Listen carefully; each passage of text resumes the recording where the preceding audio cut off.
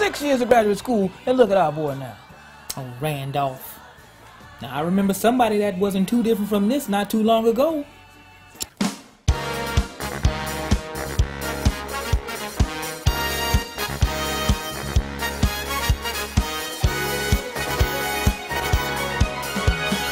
Enzyme, what you doing today?